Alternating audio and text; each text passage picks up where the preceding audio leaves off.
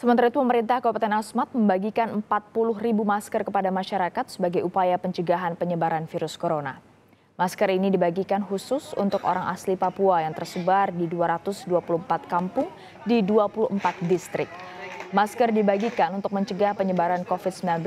Pemegangan masker dilakukan secara bertahap dalam waktu sepekan dan bekerja sama dengan 17 puskesmas yang ada di wilayah distrik setempat.